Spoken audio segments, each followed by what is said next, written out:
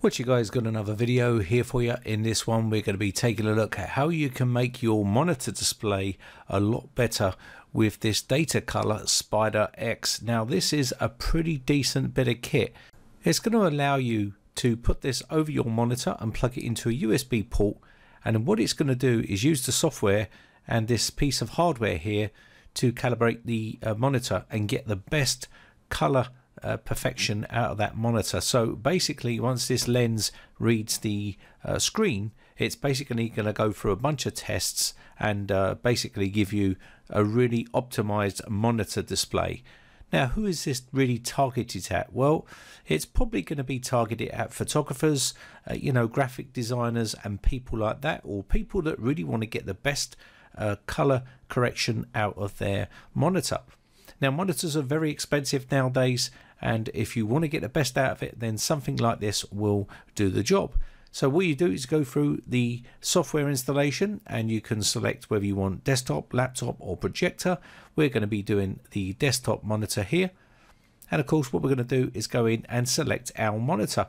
Now if your monitor is not listed here then don't worry. All you need to do is put other and you can add that monitor in the list. As you can see, there is a bunch of different monitors here. Unfortunately, uh, MSI is not in the list.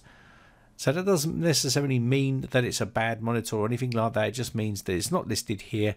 And uh, what you can do is just add it in down the bottom. So let's go ahead and add in our monitor.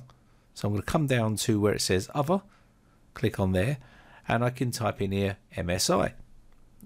Once I've typed MSI in, click OK, and then I can give it the name or the model number of that monitor. Now that's going to be uh, different to you. So my monitor is the Optix uh, Mag 241C. So you just need to put in here the uh, Optix Mag 21C and that way it will know exactly what monitor that you are using. So I'm just going to quickly type this out and then we can move on to the next step.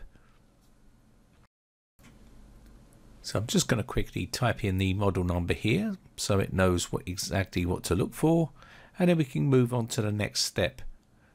Now you can see here it's indicated which controls on your desktop display offers, which is brightness, and you can see that uh, Kelvin uh, uh, presets. So you can just do whatever you like here. I'm just going to whack this in and put the both ticks in here. Now I'm no expert with this piece of hardware or software, I just uh, follow along the prompt boxes here because that's what we're trying to do here. So now we need to select the uh, backlight here. Now the backlight is depending on which one is on your monitor.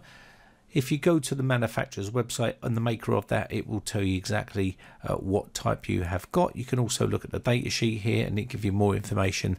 So I'm just going to let this populate and we can take a look. Now, if you've got a more modern one, uh, you can normally uh, select the uh, first option, which is a wide LED. And then I'm going to go by step-by-step -step assistant. This is because I'm no expert with this uh, software. So I'm going to go step by step. And uh, we'll click OK here.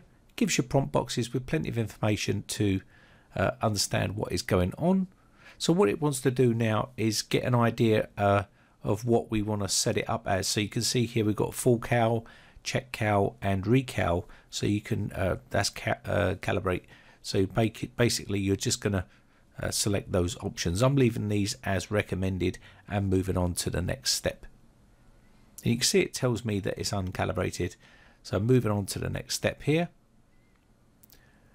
So now what it wants to do now is get an idea or representation of the light in the room. So you just leave that on your desk and then click next. And what it will do is it normally gives you an idea of what the, what the room brightness is like. So you need to select your sensor and then also uh, select all the other options that are available on the screen which you want to select and then you can go into the advanced settings and there's a bunch of things in here as well. I'm just going to click next and let it do its thing. You can see it's detected that the room light is very high. That's because we've got the studio lights on but if you don't have many lights on it's quite dark it will make changes to uh, the settings for you. You can see white white point there and also the brightness. It's telling me exactly what to do. I'm going to accept these recommended settings and move on to the next stage. Now once I get here it's asking me to place the device on to the monitor here. Now a good tip here is to tilt the monitor back so the device is firmly against the monitor and that way you'll get a good reading of the actual uh, color, brightness and everything else. Now I'm not going to go right away through this, it does take about three minutes and it's just going to go through its calibration phase where it will calibrate the actual monitor to the best uh, of its ability.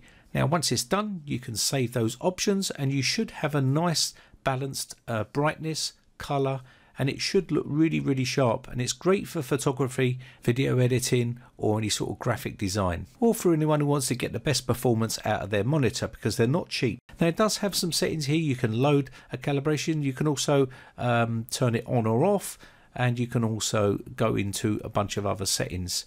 So anyway I hope this one's been useful to you. It's not a cheap device and I don't think it's for everyone, but if you're interested, the link is in the video description. My name has been Brian from briteccomputers.co.uk.